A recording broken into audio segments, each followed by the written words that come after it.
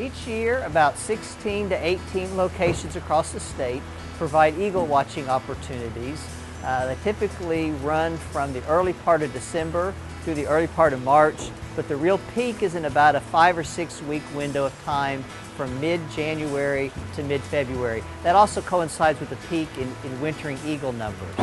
Um, most of these locations are at state parks, uh, national wildlife refuges, Corps of Engineers lakes, or uh, wildlife management areas.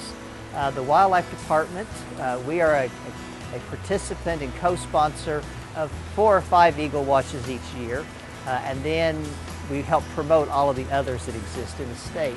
Uh, and on the Wildlife Department's website, if you go to www.wildlifedepartment.com, then go to the Wildlife Diversity and Private Lands uh, page, you'll see an icon for birds and bats. If you click on that, there's a, a, schedule there of all of the Eagle Watches each year. It's typically updated in October and November before the Eagle Watches start.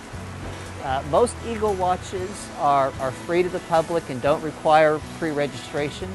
There are a few that do, so I recommend that people go to the website, look at the Eagle Watches that are available, uh, and, and, kind of choose accordingly.